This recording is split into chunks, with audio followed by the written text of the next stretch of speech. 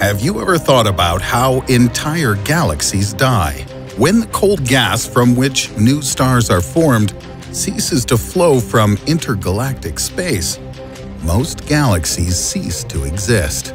However, some of them don't die completely but are transformed into a so-called stellar stream. These are an association of stars that rotate in a continuous vortex around the center of other galaxies. In the Milky Way, about two dozen such star groupings were found. Now, imagine how something with the mass of a million suns punches a giant hole in one of these streams, dragging along a few dozen stars. Sounds pretty scary. But the worst thing is that such an event has already happened on the outskirts of the Milky Way. What is this mysterious object, and what threatens us with this giant hole in our galaxy? Sit back, stock up on popcorn and soda. Right now, the level of awesomeness on your screen will rise to unprecedented heights. In the spring of 2019, Anna Bonaca, a researcher at the Harvard Smithsonian Center for Astrophysics, observed one of the star streams. She expected to see a continuous line of luminous points, but how surprised she was when right in the middle of the GD1 stellar flow, the telescope revealed a gigantic gap. The incredible, huge hole had jagged edges, as if space been pierced by a fantastically large bullet. The size of the object that violated the integrity of our universe is frightening. Indeed, according to astronomers, it was a million times heavier than the Sun. Anna Bonaca could not keep silent about such a shocking discovery. So on April 15, 2019, she presented her observations at a conference of the American Physical Society in Denver. From this point on, the debate continues among the scientific community. The best minds of mankind are trying to find the answer to the question, what exactly could punch such an incredibly huge hole in our universe? The first option that came to mind is a giant, monstrously huge star with a tremendously large mass. Perhaps it just went astray and flew through the side of the galaxy. According to Anna, this theory could be viable if not for the huge size of the gap itself. A star that is able to pierce such a frighteningly large hole should have an absolutely unbelievable diameter. And scientists have never observed stars of this scale. Indeed, it should also have enormous gravity. According to astrophysicists, this incredible something broke into GD1 and then dragged many more large and small stars behind it in its wake. Therefore, for researchers, this assumption didn't make sense. Of all the objects known to scientists, only black holes have a similar mass. This explanation seemed more plausible to the researchers. The only problem was that usually, in the center of galaxies, there's only one big black hole, and we already have one. On the other hand, there's still so much we don't know about the universe. Perhaps the gap in the GD1 stellar stream is evidence of an anomaly, and Bonaca, with her colleagues, discovered a second massive black hole in our galaxy. Astrophysicists don't deny that this is possible, but Anna Bonaca disputes this theory. The fact is that around a black hole there's a cloud emitting flashes and very powerful radiation. The scientists who observed the stellar stream of the GD1 should have detected this. But Bonaca and her colleagues did not find any signs of radiation near the gap. Moreover, in April 2019, astrophysicists first took a picture of black holes which had nothing in common with what Bonaca saw in GD1. This means that a supermassive black hole being the cause here is out of the question.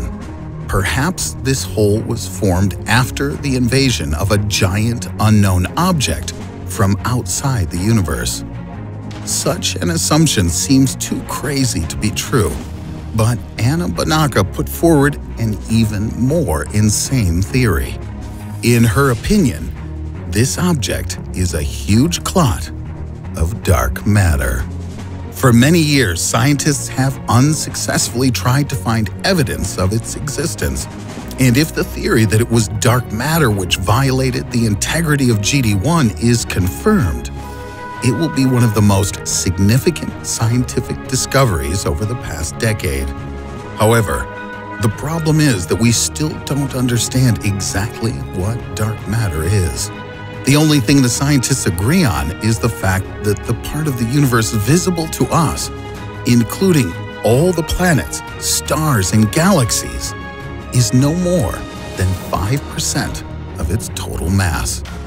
Everything else consists of dark matter and dark energy. Dark energy is a kind of anti-gravity. Thanks to dark energy, according to scientists, our universe keeps expanding. Unfortunately, there's no direct confirmation of this hypothesis. After all, dark energy can't be seen. Besides its hypothetical influence on the size of the universe, it leaves no trace behind unlike dark matter, which gave people more reason to believe in its existence. According to one theory, dark matter consists of exotic particles.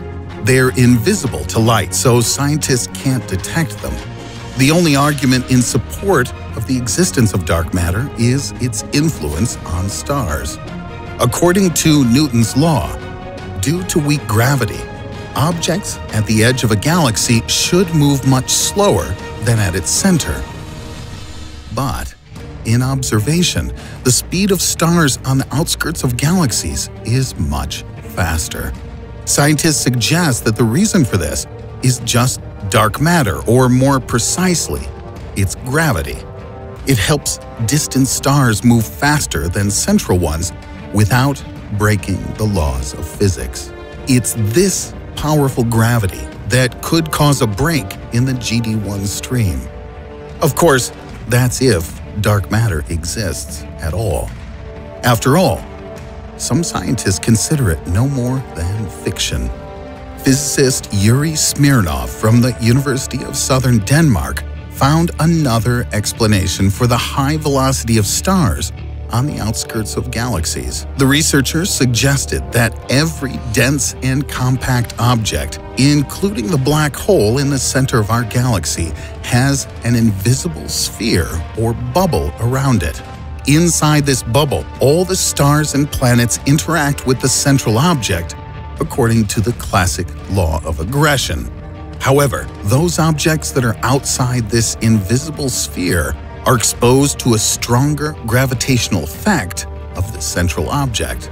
To understand more clearly how this works, imagine two weights with the same mass, one immersed in water and the other just getting ready to fall into the water. The falling weight will move much faster, although it's farther from the bottom. That's why the stars on the outskirts of the galaxy are moving with greater speed than in the center and dark matter has absolutely nothing to do with it. Unless, of course, you believe the Danish physicists. They do not want to be without evidence, so, in the near future, they're going to test their theory. These scientists plan to aim a beam of light at one of the galaxies. If their assumptions are correct, the beam will not pass through the galaxy but will break due to the surrounding bubble. In this case, the theory of dark matter would finally be refuted. But for a giant hole on the outskirts of our galaxy, then there simply must be no other explanation left. The riddles and secrets surrounding this mystery will only increase even more. Nevertheless, Anna Bonaca and her colleagues are inclined to believe that the gap discovered is still a clot of dark matter although we have no direct evidence of this theory yet. Just as we see no evidence to the contrary so far. And the most important question, what kind of threat is this to our galaxy, remains open. What do you think about this? Does dark matter exist? And what is this mysterious object with a mass of a million suns? Share your opinion in the comments below. If you like this video, be sure to give it a thumbs up and subscribe to the channel. Also, don't forget to click on the bell to receive notifications about new videos. And be sure to recommend us to your friends. It's much more interesting discussing these topics together.